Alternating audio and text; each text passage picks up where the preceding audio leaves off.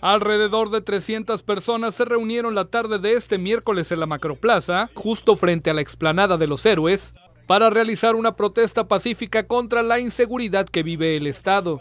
La manifestación fue convocada a realizarse en la explanada frente al Palacio de Gobierno, pero por la presencia de valles la gente no pudo accesar a esa área. Los protestantes, en su mayoría estudiantes del Tecnológico, la Universidad de Monterrey y la Universidad Autónoma de Nuevo León, se turnaban el micrófono para expresar su sentir y hacer propuestas para combatir la delincuencia. Exigimos como comunidad TEC saber qué fue lo que pasó con nuestros compañeros, qué fue lo que pasó esa noche por su memoria.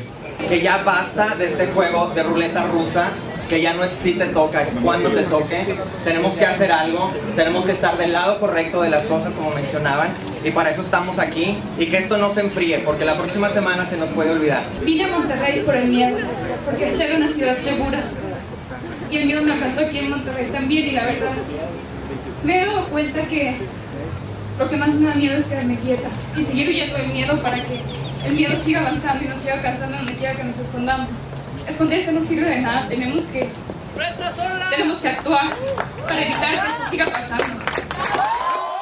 La mayoría de los jóvenes portaron pancartas con frases en reproche al gobernador Rodrigo Medina y a las autoridades estatales por el clima de inseguridad que se vive en Nuevo León.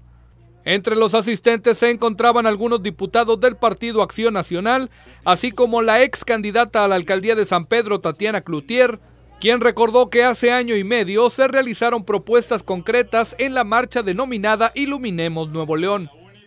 La pregunta es, ¿cuántos más? ¿Cuántos más habrá que tener caídos para poder que nosotros y las autoridades empiecen a hacer lo que les corresponde? Han roto la posibilidad del diálogo, poniendo las fallas y poniendo a estos trabajadores que buscan hoy retenernos y detenernos, pensamos que venimos aquí a buscar algo que no sea la tranquilidad de nosotros. No tenemos miedo, señor gobernador, a que usted nos ponga vallas. No tenemos miedo, señor gobernador, a que usted nos ponga la policía. Venimos a solidarizarnos con quienes han dado la vida y venimos a solidarizarnos con quienes hoy tienen las propuestas. Durante la protesta, los manifestantes realizaron una evaluación de las cuatro propuestas realizadas al exgobernador Natividad González Parás, resultando en todas reprobado o culpable, emitiendo su voto levantando una hoja color rojo con la leyenda de culpable. A favor de manifestarlo y si no en sentido contrario. Muchas gracias.